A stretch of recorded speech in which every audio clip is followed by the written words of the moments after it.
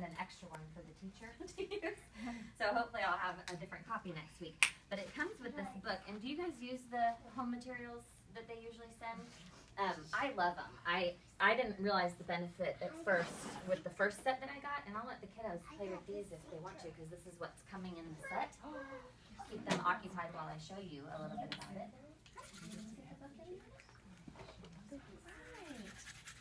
So in every book that comes, and some of the sets are different than others, because sometimes it'll be a, just the book, and then a separate activity guide.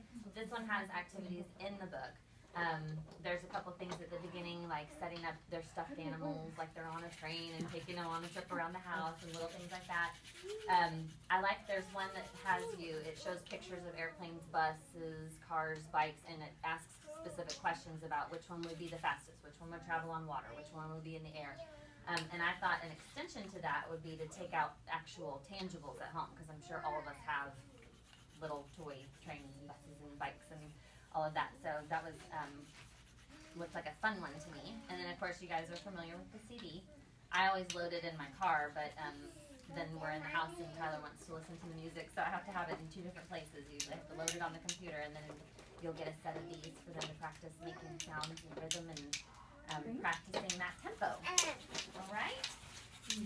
Any questions on the home materials? If you haven't used them before, um, I highly recommend it. I didn't, I didn't realize, I had the set that was a separate book. It was a book and then, um, a separate activity book.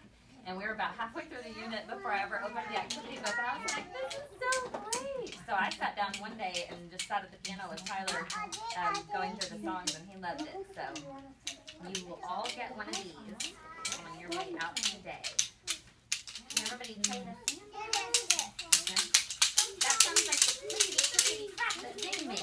it?